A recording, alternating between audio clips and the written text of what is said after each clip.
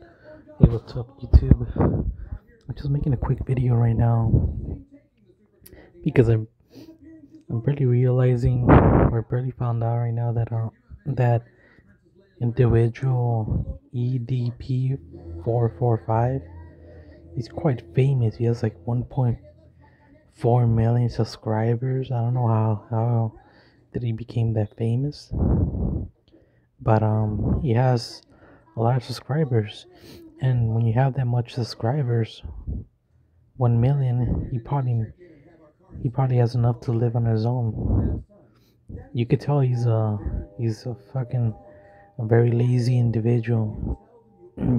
he, he easily weighs like 300 400 pounds so i know he probably doesn't work i know he lives off the government or youtube or something but that's the point. The point is that um that um that um he got caught trying to meet with a 13 year old boy or girl. I think it was a girl.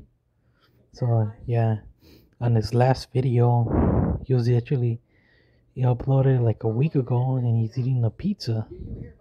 And when he's eating this pizza, he makes he makes racist remarks about a Hispanic person that made a comment that triggered him, and he made a horchata joke, a Mexican joke, and you know people think it's funny, and um, a lot of the times, you know, people get away from from making jokes to Mexican people and Asian people, but as soon as somebody says something about black people in a joke term or white people everybody gets triggered. The whole media the whole universe turns upside down. You can't you can't say nothing about black people or white people. You know? The only people that can or could be victims of a joke that our society lets them. It's asians or mexicans. That's why all these um, comedians comedians always are always uh, emphasizing Mexican jokes because they're allowed to, and also because Mexican people can take it, but black people can't take it. You know, we know from history and from television and the media that black people can't take a joke, but they can be as racist as they want because the American media lets them. Anyway, I'm getting off topic the point of this video is that um I'm trying to get the vaccine. Well, not trying to get a vaccine, but I'm not sure if I should get it. Um, the other day I was looking up at. I was trying to get Pfizer vaccine, but um, I couldn't find any any uh, hospitals or any place that could could could um has a availability for me to get an appointment. I couldn't get an appointment for Pfizer. So my next choice is Moderna. Or what's the name of it? Moderna. But I heard that the Pfizer is the best one. Even my parents say that. They took Pfizer and they said they felt fine. But I'm hearing a lot from individuals on Instagram and Facebook that that um the vaccines are are made out of fetuses and they're and then we're like experiments for the vaccine. Basically the people who are taking the vaccine are like test dummies.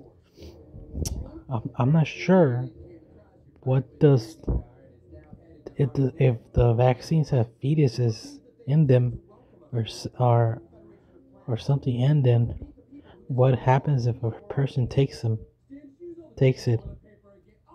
Does a person um i know it, the immune system increases it enhances but it also i have this theory that the vaccine decreases lifespan because i don't believe that the government has ever cared about the population. I feel like this is the the whole pandemic is is here for a reason.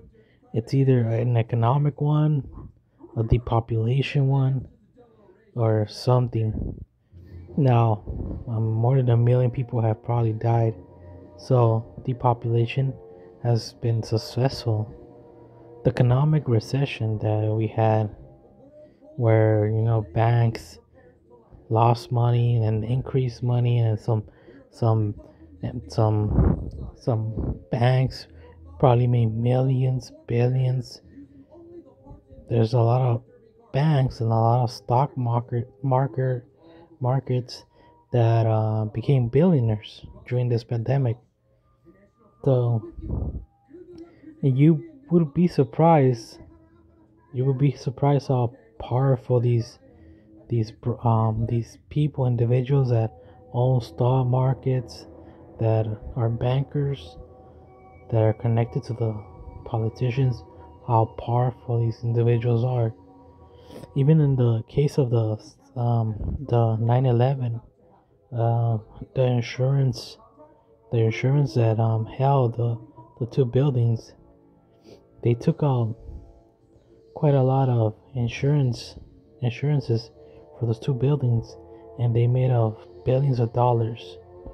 Well, I'm assuming they made millions of dollars, but you know, I'm not really sure in that case. But I heard that um, insurance firm took out um, took out um, billions of of uh, of of of a case for the, those two buildings, and after they collapsed, they made billions.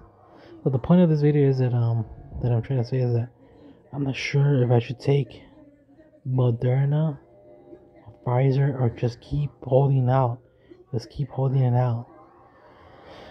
Now, my college is still in lockdown.